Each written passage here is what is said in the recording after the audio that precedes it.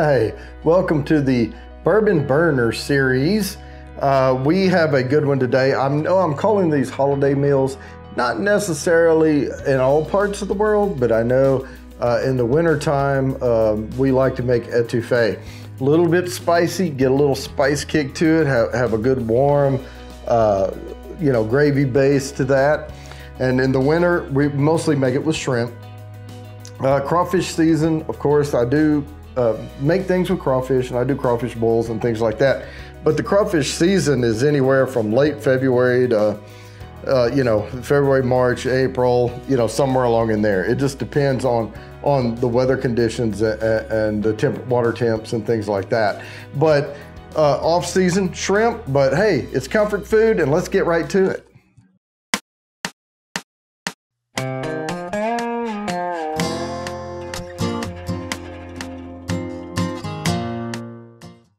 Hey, welcome back to the Bourbon Bounty Kitchen. Uh, today we're making, uh, not crawfish, shrimp etouffee. And you may ask, is this really a holiday recipe? Well, in uh, Louisiana, they make etouffee all year round, and the only difference is this is not crawfish season. Uh, crawfish season is, uh, you know, February, March, April, uh, up in that time frame. So we're going to use shrimp. And actually, I had to use Argentinian shrimp. So, but anyway, uh, what we're gonna do is we're, we're, gonna make a stock. So let me turn this burner on because I have some water in this pot. And what I've done is I've taken uh, uh, last, uh, you know, but ahead of time and I prepped and I peeled my shrimp and I've saved the shells. Uh, my shrimp are, are tucked away in the fridge right now because they come way later in this process. But what we're gonna do to this stock pot is we're gonna add um, our shrimp shells. And this is gonna make a shrimp base. Now we're only gonna use, I put about four cups of water uh, in this pot. We're only gonna use about a cup, maybe a cup and a half uh, when we go to make the etouffee. If you want, you can save it uh, and it'll keep up to a week in the fridge or about three months frozen, uh, you know, if you wanna plan on making something else uh, with the rest of the remaining stock, but it's really not much to it. We're gonna get our shrimp shells in there.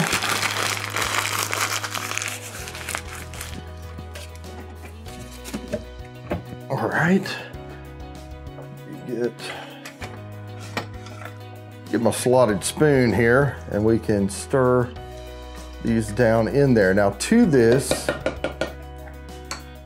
I am gonna add, what I did was I took a half of about a medium onion uh, and a, uh, maybe one or one and a half celery stalks, depends on how big it is, and the cap and base of my bell pepper. So that's go also gonna go in here. You can leave these in big chunks because we're gonna strain this off, okay? This is not, you don't want finely chopped things going into your stock. To this also, I have a clove of garlic that I just kind of uh, crushed on the side with the knife a little bit, peeled it, and just cut it into three pieces. You can just cut it in half. Just expose the oils where they can come out. Uh, to this also, we are going to add two bay leaves. I'm gonna get this stirred kind of around in here. We're also gonna bring this up to a boil, and then we're gonna reduce the heat and simmer and once this gets going, I'm gonna simmer it for 45 minutes covered because I don't wanna lose any of my moisture uh, out of my stock. I just want all of those flavors to come out in there. This is an important part of making a really good etouffee. If you don't make your own stock, you're at the mercy of uh, you know, preservatives and things like that. If you buy like, uh, you know, already made uh, shrimp stock or seafood stock or something like that, and you never know what kind of flavors you're gonna get. At least here, you know you're gonna get the flavor of the shrimp that you're gonna use or crawfish if, if you're in the right time of season that you're gonna use in your actual etouffee. So we're gonna um, let this uh, steep. This is all there is to it. You just let this, uh, once it comes to a boil, reduce it down to a simmer, cover it for 45 minutes, and then I'll meet you back here. Okay, our stock has been going now for about 45 minutes. Uh, grab a little hot pad out of here or a hand pad. So I get this hot lid off here. What I have here is a mixing bowl with a, uh, a small mesh wire sieve in it. And we are going to now, oh, that looks really, really good. It smells incredible in here right now. Now, this water is gonna be pretty clear. Little uh, tint to it. Don't worry about that. It, when If you do this with crawfish, it'll look a little muddier. Uh, but uh, yeah, don't worry about that a bit. Now, we'll set this to the side. And then what I'll do is take this out. Oh yeah, that's beautiful. All right, what I've done is uh, I took my sieve, I dumped all the stuff in the trash, got uh, most of the remnants back out of this pot. Now I've had this burner on really low over here. So what I'm gonna do is move this pot to the hot burner. Uh, this is the cast iron that we're gonna be doing most of the cooking in. And I'm gonna turn this temp up on this thing and let this thing heat up. But I'm also gonna put my original stock pot over here on the low, low burner. This is the lowest temp you have. And I'm gonna put the stock from the mixing bowl back in so we can keep it warm while we're cooking our other parts. Lid's a little hot, it's okay. All right, now what's gonna happen is I'm gonna get some oil and butter in here, half stick, uh, and I'll get that now. All right, a little bit of olive oil. It doesn't take much, maybe a, a teaspoon, maybe a half teaspoon. Just make a little dot in the bottom of the pan. And what this does is prevents the milk fats in the butter from burning. So now I'm gonna take about a half a stick of butter and I'm gonna lay it right on that oil. And you can hear it starting to sizzle because I had my, my cast iron preheating. All right, my butter's just about melted all the way down. I know on the recipe I put an eighth of a cup. Uh, basically, it, this is art, not a science, just eyeball it. Uh, take a couple of good heaping teaspoons or tablespoons of flour, throw in there, maybe about like that. Doesn't have to be absolutely perfect. And then what I'm gonna do now is mix this flour into the butter and we're making a roux.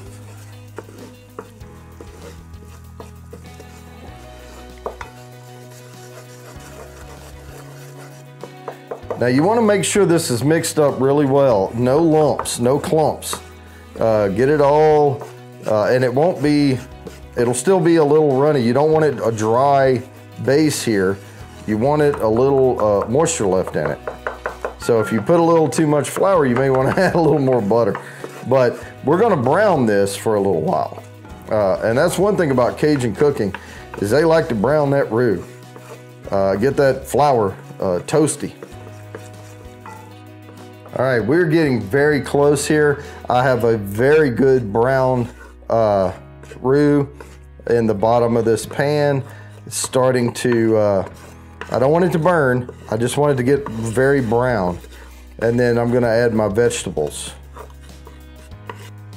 All right, this is getting very brown. It's very smooth.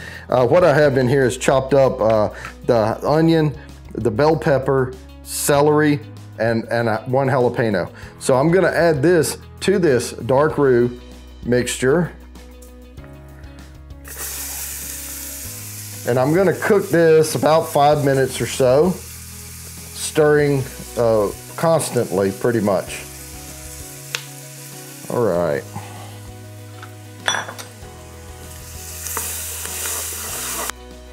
All right, these have been going for about five minutes. Um, have my garlic here. Of course, I'm cheating again, but this is already minced up. Uh, if one thing, if you don't learn anything else from these cooking videos, do not add your garlic with the other vegetables. Always wait. So I'm gonna put in clove or two here. maybe a tiny bit more. Art, not a science. And then I'm gonna go two more minutes on this. All right, we're at the part here where I'm gonna add the stock. I have about a cup, maybe a little more. Uh, I've poured it from uh, my stock in, into here. You can see the color on it, little uh, uh, greenish tint to it because of the bell pepper and everything. Um, but I'm gonna add this in slowly, stirring constantly. You want it to incorporate. It's gonna clump up on you right at first. But you want to make a good, smooth, uh, consistent gravy out of this. And this is where we turn our roux into a gravy. All right.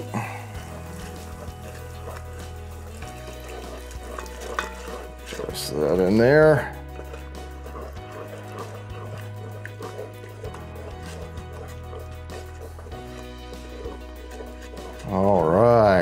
That is looking really, really good.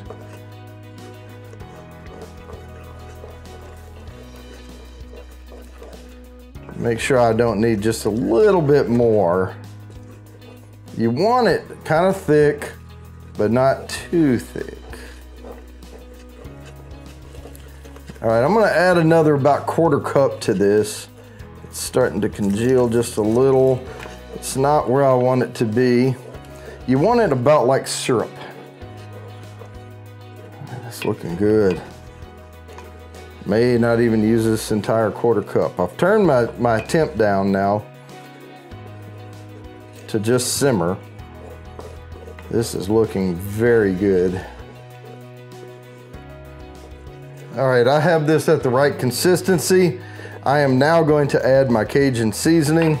Uh, about a tablespoon. I'm gonna put a nice, good little heaping mound in my hand here and chunk that right in. And then I'll taste it. I'm also gonna add some smoked paprika. About a half teaspoon or so, something like that of smoked paprika. Don't go overboard with it. Just a little. Puts a little smoky kick in there.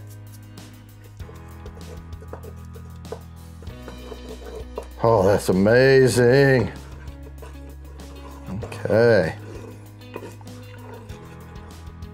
All right, now's the part where I get to taste it and see how much salt I need to add. So this is always the good fun part here.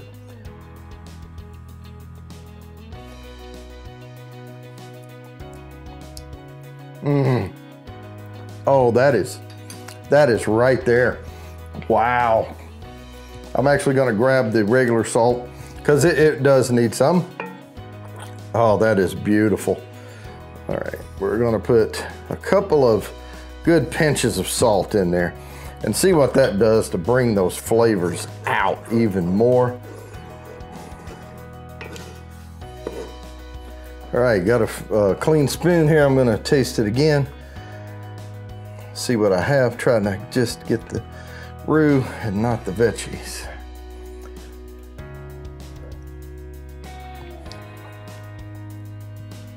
Oh, spot on.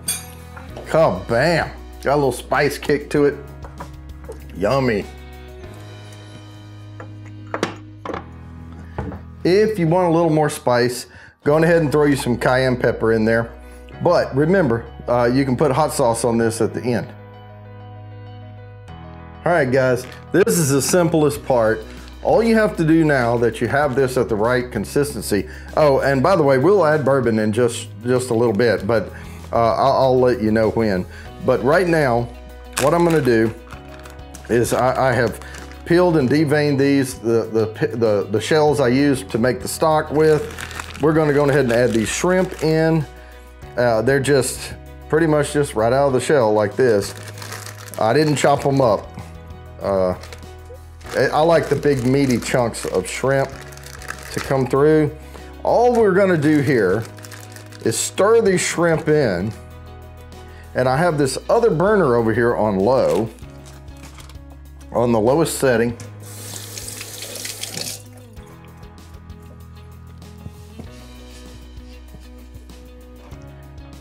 shrimp cooks very fast. So we're going to stir this in. Make sure those shrimp get all coated very well.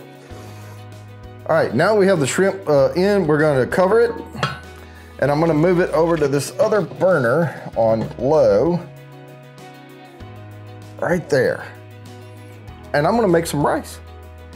All right, rice is uh, stupid simple, really. I mean, it's uh, two cups of water, one cup of rice.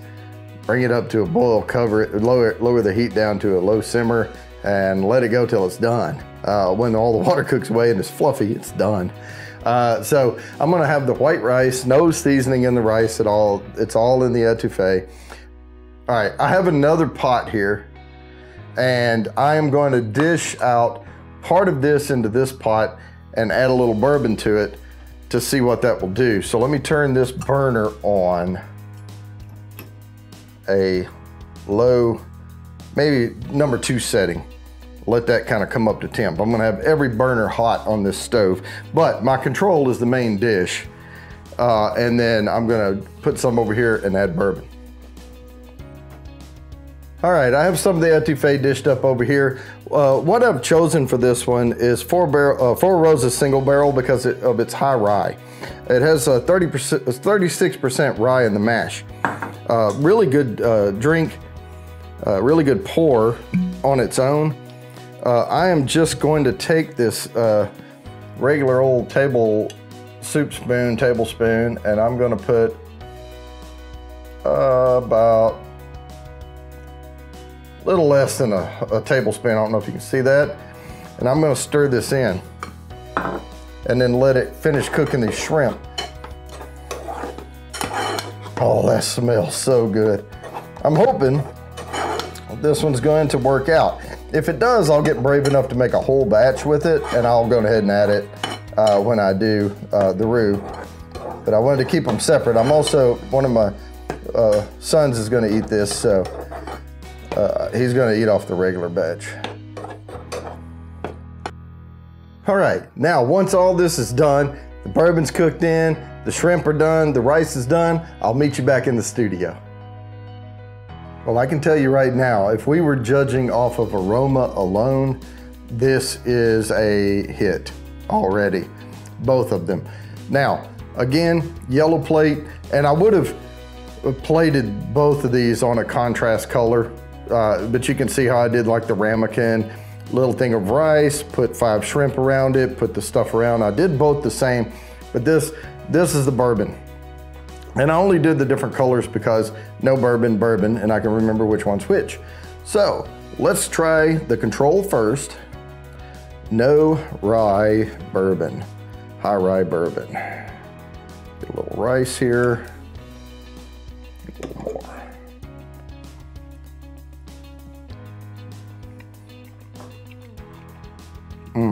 Mmm. wow, that is good. Mm. Now, I've made etouffee before. Just a tin of a spice kick to it. Not too bad. Shrimp are cooked perfectly too. That really helps a lot.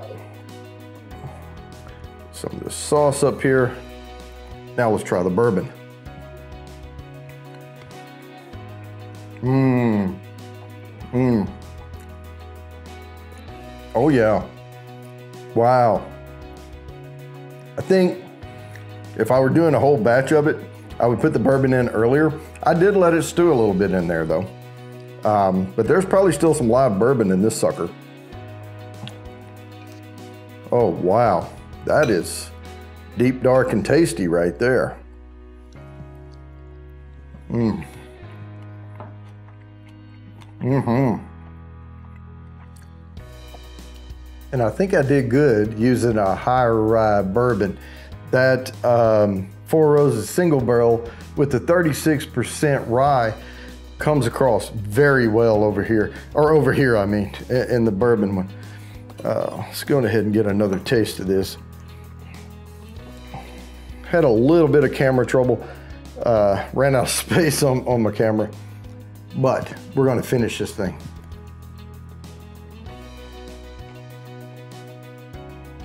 Mmm. Man, that is so good. That little spicy kick from that jalapeno. Wow.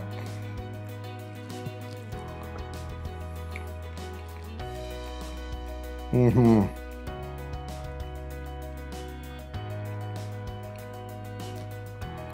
Yeah, bang on. Um, that's really, really good. But that is so much better. So with that, I'm gonna go ahead and wrap this up. We have another hit on our hands. Recipes down below. But as always, please like and subscribe. Hit the bell down there for notifications and I promise I'll keep making you these videos.